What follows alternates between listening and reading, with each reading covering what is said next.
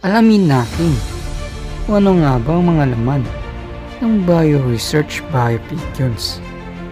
Maliban na lang sa mga kalapati doon.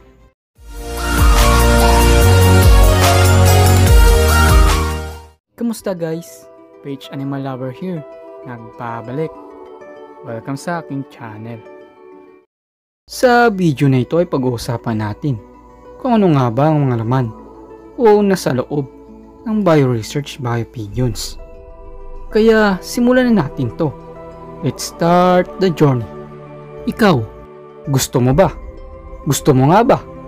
O baka di mo gusto na malaman kung ano nga ba ang nasa loob ng Bioresearch Biopigeons maliban na lang sa kanilang kalapate.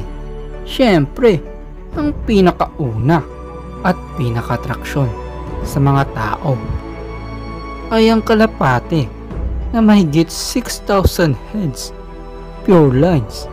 Makikita mo rin dito ang iba't ibang klase ng kalapate, iba't ibang kulay na galing sa ibang bansa.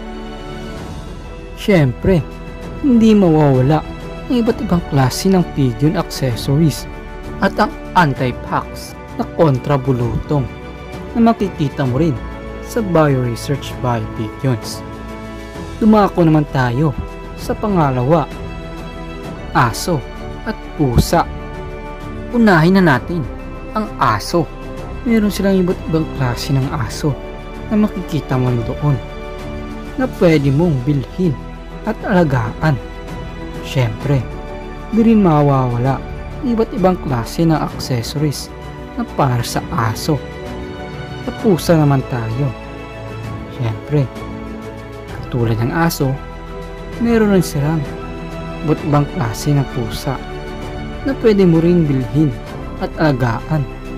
Siyempre, di rin mawawala ang kanilang accessories. Dako naman tayo sa pangatlo sa mga isda. Siyempre, makikita mo rin doon ang iba't ibang klase ng mga isda na pwede mong alagaan. Mapa, laki man, o maliit.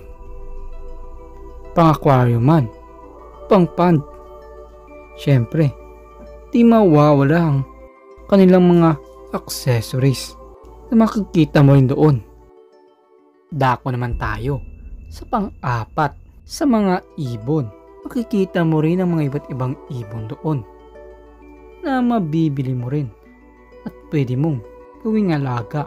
Siyempre, mapalaki man o maliit, makikita mo rin doon ang mga accessories nila. Mga kulungan, malaki rin o maliit, ay pwede mo rin bilhin doon.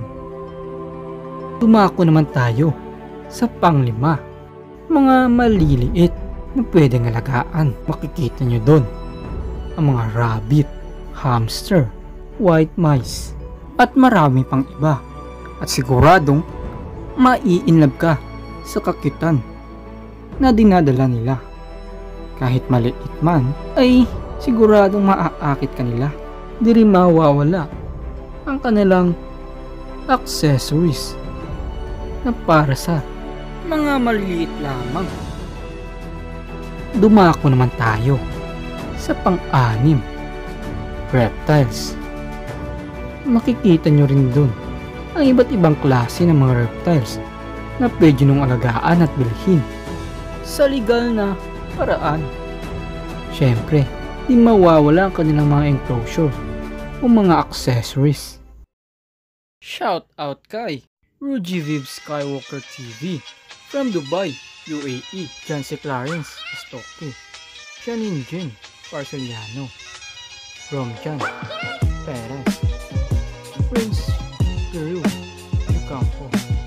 sa isang kalapatids natin, J. Mateo Love TV. Please support his channel. Kaya inimintahan ko kayong pumunta doon pagkatapos ng pandemic na ito. Dahil libre naman, ito lang bayad kapag bumisita kayo doon. Di lang mata nyo ang mabubusog, kundi ang tiyan nyo dahil may free snack from KFC. Kaya ano pang hinintay nyo? Sugod na! So once again, Page Animal Lover, and I will see you to the next journey. Let's go wild for wildlife!